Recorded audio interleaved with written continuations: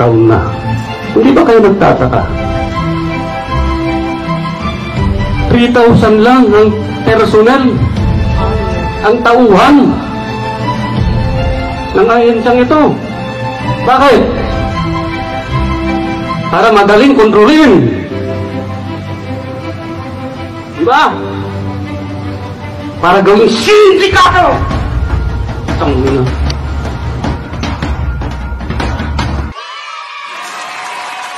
Ayan, isang magandang araw sa atin lahat mga kababayan, mga kasulid. Maligayang pagbabalik sa ating channel.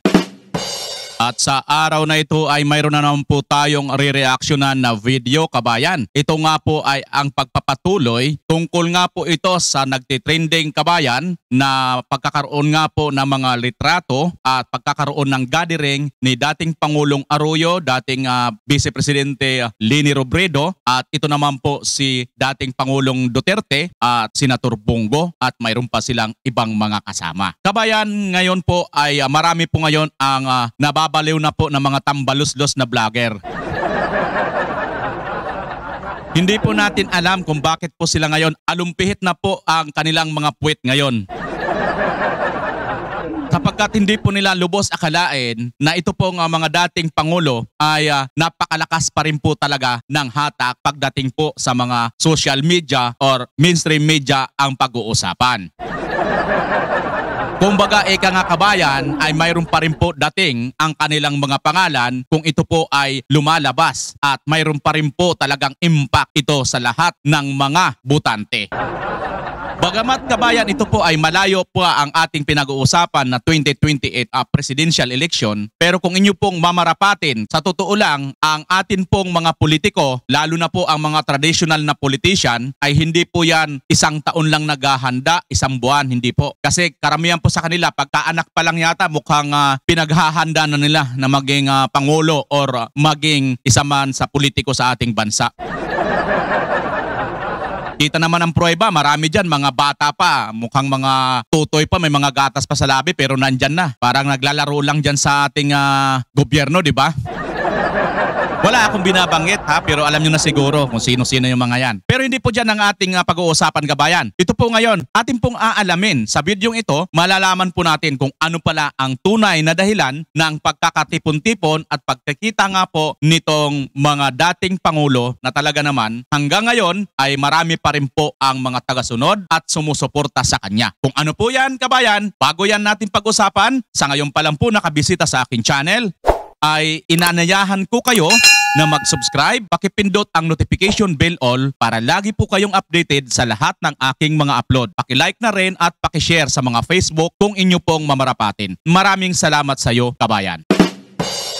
Dito po kabayan malalaman po natin kung ano po talaga ang buod at tunay na dahilan ng pagkikita-kita nila dating Pangulong uh, Duterte at ito nga pong si Arroyo. Mismo po ang uh, kasama po dyan mismo walang iba kundi si uh, Senator Bungo ang magpapaliwanag po sa atin kung ano po ang naganap dyan. Ito po yon. Ayan kabayan, ayon dyan, masayang kwentuhan. Duterte Arroyo Soto Reunion Dinner. Yan lang po yan mga kababayan. Dinner lang naman po pala ito. Huwag po kayong uh, maging tambalos-los dyan mga don't me tambaloslo, sabi ni Bibi Sara.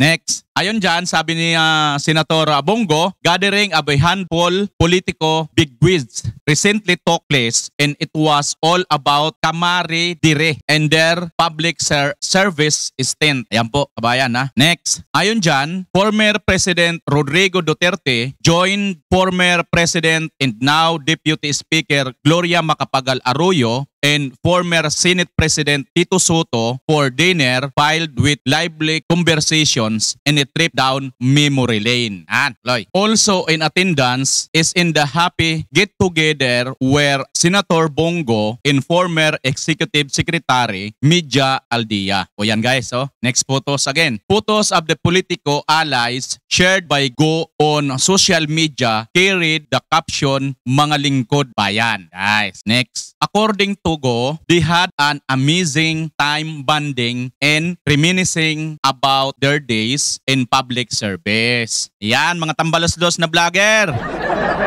Banding lang naman yan. Huwag kayong masyado mag-iyakan dyan.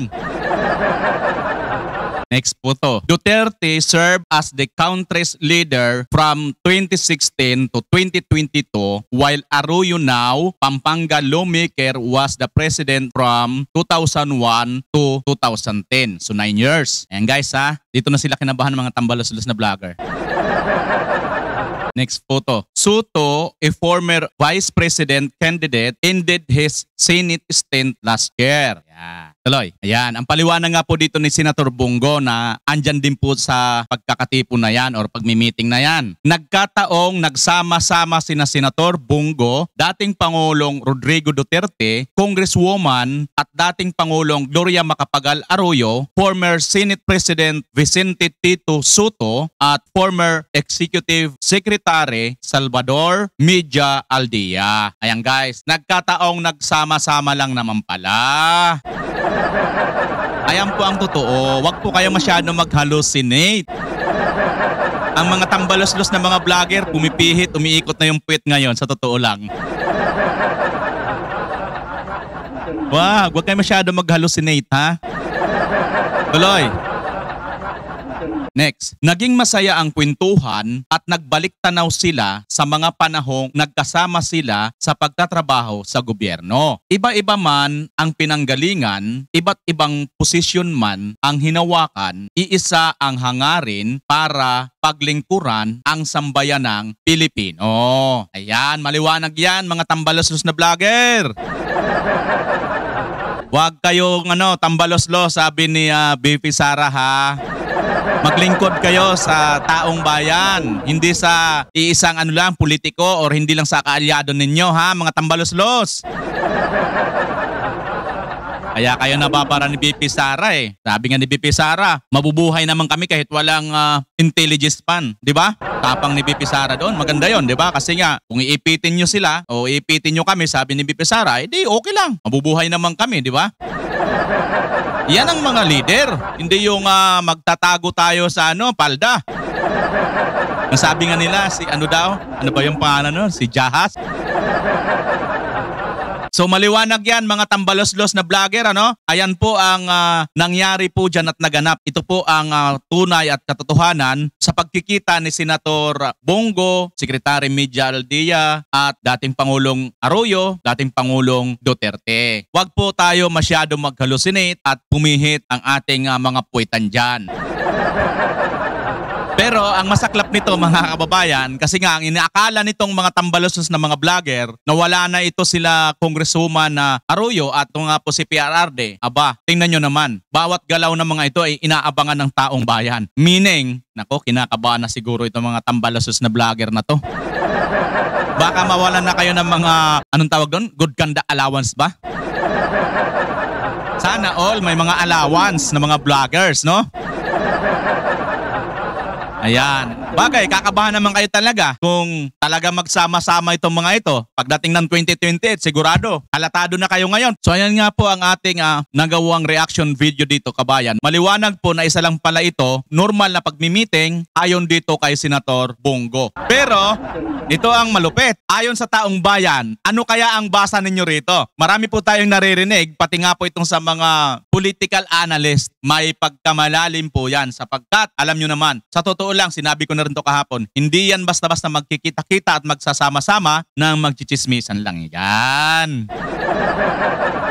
Ayan mga kababayan, maraming salamat muli sa inyong pagsama sa araw na ito. Ito muli si BMR Channel, ang una sa lahat. Nagpapasalamat po sa Diyos sa lahat ng ating mga ginagawa at natatanggap na biyaya. Siyempre, kung galit ka sa droga sa darating na 2025, ano pa ang hinintay mo? Magbantag ka. Siguro baka kaso mo pa yan. Thank you.